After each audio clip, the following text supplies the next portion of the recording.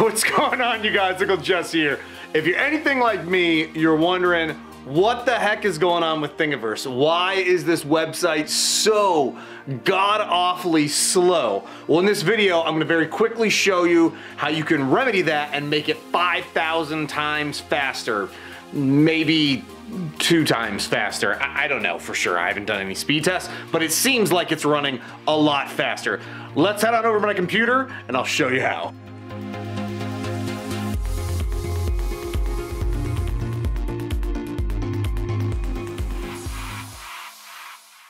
All right, everybody, here we are on Thingiverse.com. If you're not familiar with Thingiverse, this is like the hub of all 3D printable files on the internet. There are a lot of other websites, My Mini Factory, um, Pinshape, etc. Uh, this tends to be, however, the one that everyone and their mother goes to to share files, upload files, download files, uh, collaborate on things, whatnot. However, uh, it, it, runs like absolute garbage lately. It, and funny enough, at the moment, it seems to be running pretty smooth and somewhat fast here. Um, however, it, for the most part, when I'm trying to view this, it seems like images take forever, absolutely forever to load. If I'm popping into a page, it sometimes might load decent. Other times, I'll just sit here and have to continuously reload the page, and it drives me absolutely insane.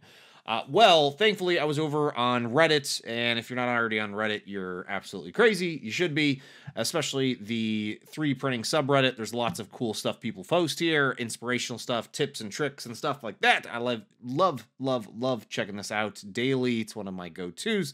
Well, anyways, yesterday I saw a post here by Biscott05 that was talking about it being really dang slow. And uh, funny enough, here, Suspicious Chemistry said, hey, he did some looking and said that it looks like there's actually uh, New Relic monitoring, which is some sort of a monitoring service that's running on Thingiverse that's causing it to slow down, uh, and that he's using an app add-on for his browser called Ghostery. So it's a browser extension. So I'm using Chrome. Here's the Ghostery extension. I'm going to add this here, show you guys how this all works.